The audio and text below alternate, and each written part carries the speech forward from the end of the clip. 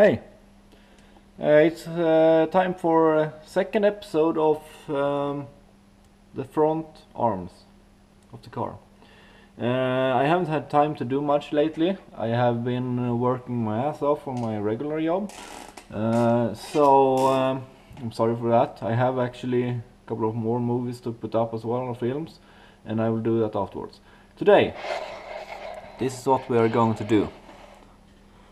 Uh, I'm using a little bit too, wide screen I can see, but let's go with that. Um, I'm using Casim, a program to determine some basic um, uh, positions and length and all that of the A-arms. Uh, so I have measured on the car on the frame different angles, as you can see here. Uh, I put them in there and then I did a simulate to get some uh, measurement out. So if we go over here, I got this paper that says that my lower arm should be 480 millimeter, my upper arm 330, 338. I can also see the positions where I should mount them. Uh, those positions, if we go over to the car, um, for instance, the under one should be from here and out here. That should be 219 millimeters. And the height from the floor and up should be 210. The same goes with the upper one. I have those as well. Um, so what I then do is I have laid out first of all the under one. I did measure it up so I have from this here, I have 480 there. Um, I then have put this here, that one there, I should put another bracket there as well, and I'm going to do that there as well. And then it's easy, it's almost done. You measure up your uh, tubings and you fit them. So, I will, on the time, fix a couple of uh, more wooden plates to screw on here. So this doesn't roll away. Uh, I have also measured up the upper arm. That one should be roughly like that. Uh, I'm going to do the under one totally symmetric. Uh, the upper one I have not decided yet. It's up to me to decide where to put it. Uh, but I will do that when the under one is done. So I start with that. So I'll be back in short. So, two pieces cut out and aligned.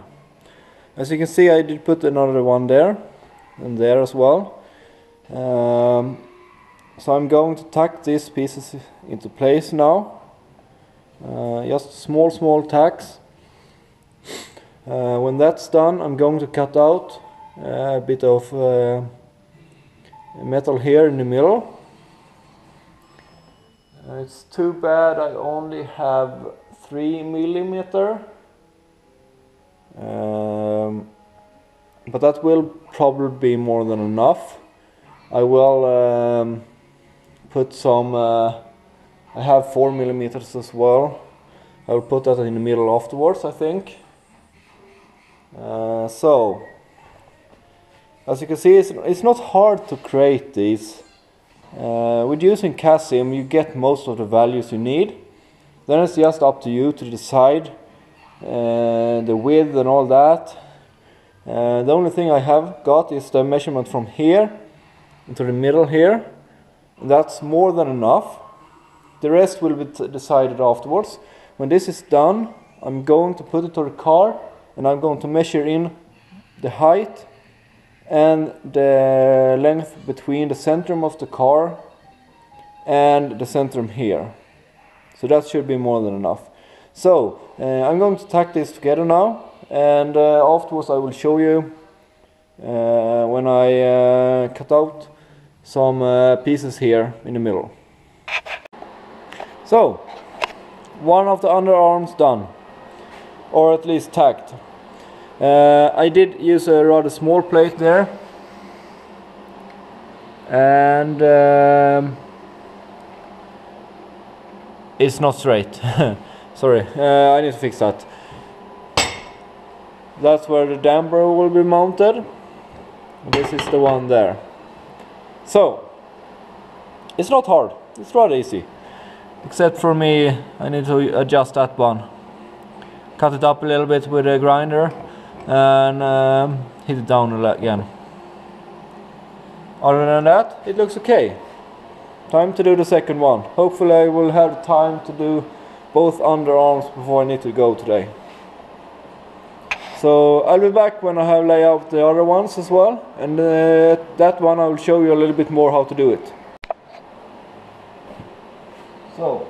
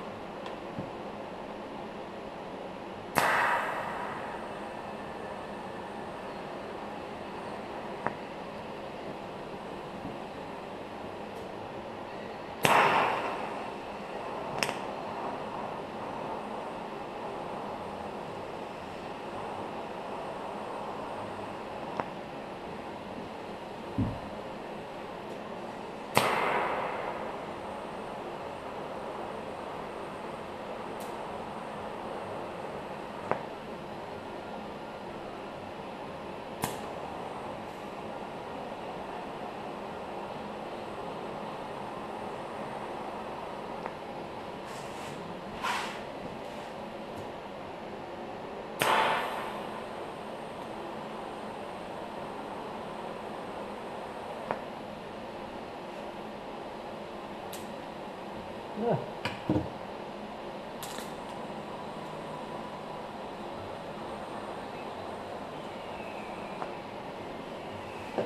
There we go.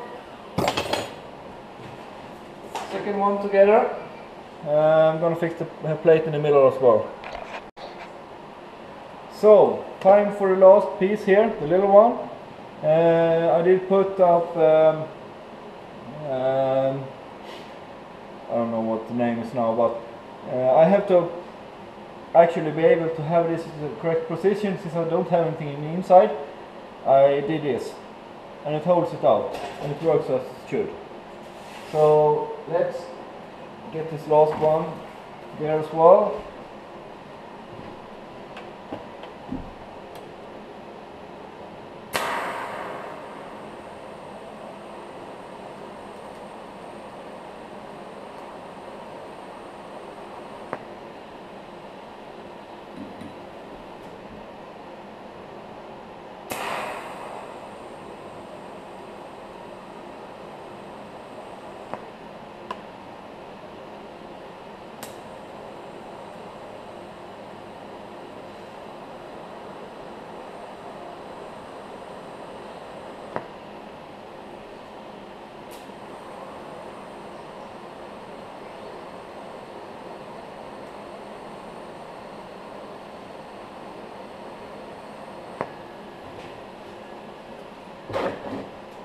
So, um, it looks okay, straight at least.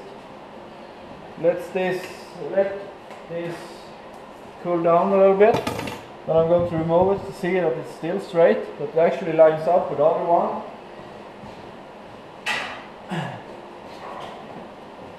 The importance here is that they are equal both.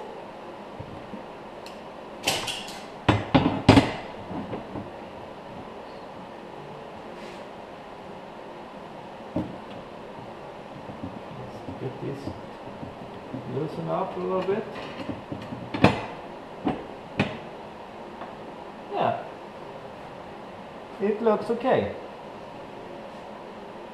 Maximum half a millimeter wrong, something like that. No, no, not even that. It's really, really good. So that should do it. Looks like the plates kind of decent.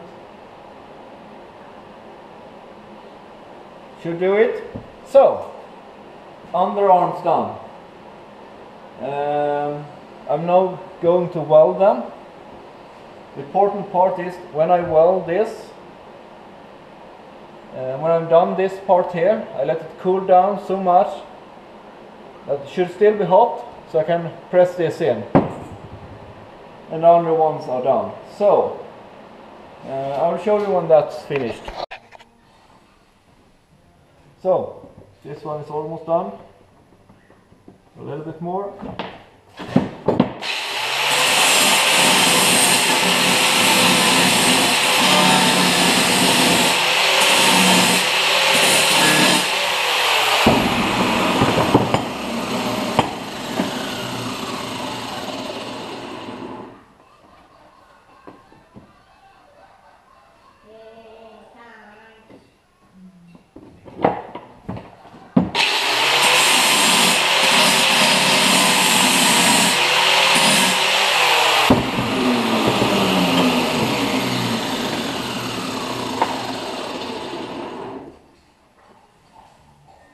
That's good.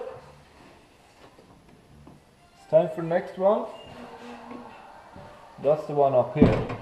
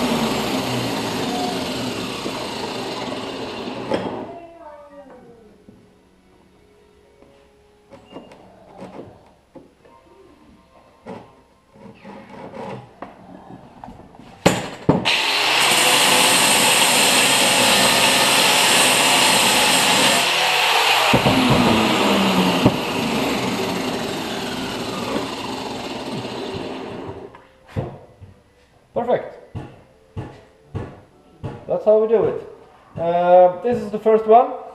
Now it's time to do the second one. Uh, I will shut the camera off.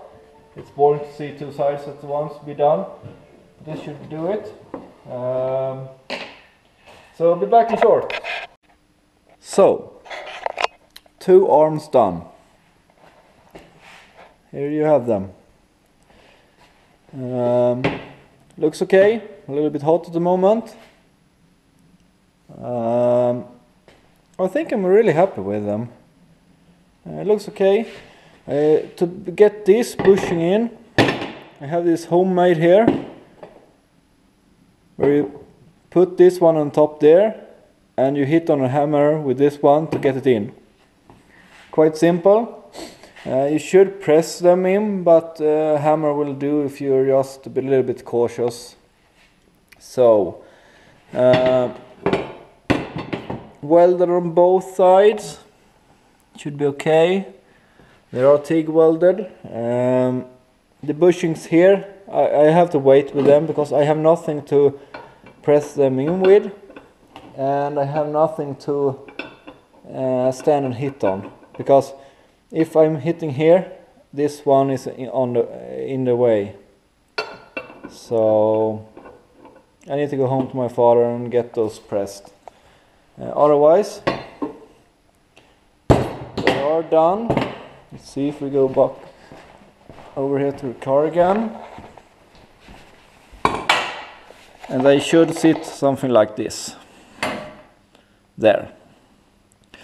Um, I did measure wrong beginning, I did them too long. So I did recalculate and now I think I have the measurement really good. This is the under one. Next step is to do the upper one. They are shorter. Um, almost the same size already, so. But this will have to do for now. This is part two of the bearings. No, not bearings. The A-frames at the front. Um, thank you for today. See you next time.